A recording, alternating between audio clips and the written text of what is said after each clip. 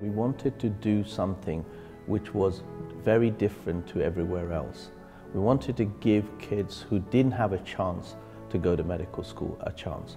We've persuaded the government to create places focused on social mobility and new medical schools. Achieving those 100 government funded places is really a game changer for us. This allows us to realise our vision of social inclusivity. How do you get those local students who come from the most socially deprived background onto a medical course. That led to what we call the Sir Doug Ellis Healthcare Pathway Program. This is a program that allows 16 to 18 year olds to see if they're interested in studying medicine or other healthcare professions, teaching them social skills as well as academic skills. We've now had 100 students go through the whole thing and now we have 20 conditional confirmed places given to these students. I'm completely grateful for having the opportunity to study medicine at Aston University. This is a life-changing event for me and it would have not been possible if it weren't for the program that is helping people like me and others that would have not had the skills and confidence to apply for medicine.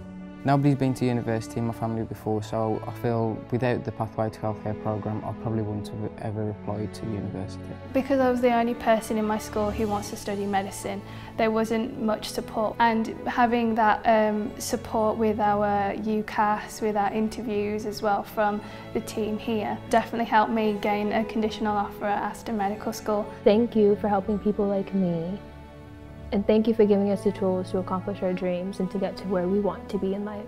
Thank you.